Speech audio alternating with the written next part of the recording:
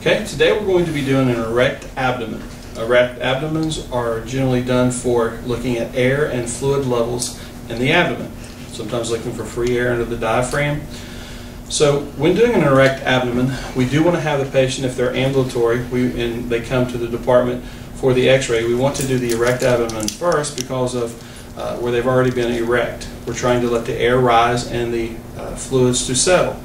So uh, ideally we, we need 15 to 20 minutes with the patient erect, uh, five minutes at least uh, they need to be erect for this uh, position.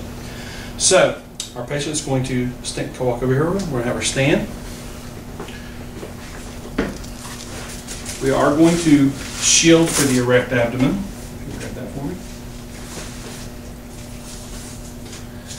Okay, so you put your back against here. Now, a couple, couple things, we need to have, our film size is going to be a 14 by 17, and it will be lengthwise.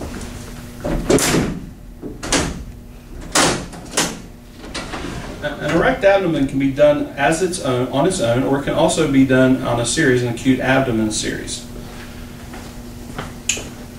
We want to take and position the film. The top of the film can be at the level, bring your arm out, at the top of the axilla, or approximately, we're going to be centering about two to three inches above the crest. So, going to palpate the crest and center about two to three inches above. We're going to collimate to the skin margins.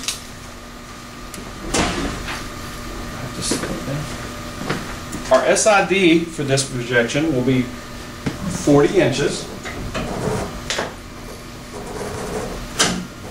Okay. We do want to make sure that the arms are to the side so that they don't obstruct anything. We're going to place a, a marker on here on the left side.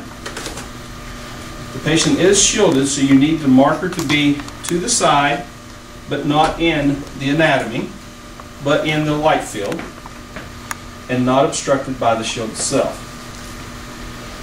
As far as inspiration and expiration, the, on the, an abdomen should be done on expiration, because what we're trying to do now is we're actually trying to raise the diaphragm as much as we can so that we can see as much of the abdominal area as possible.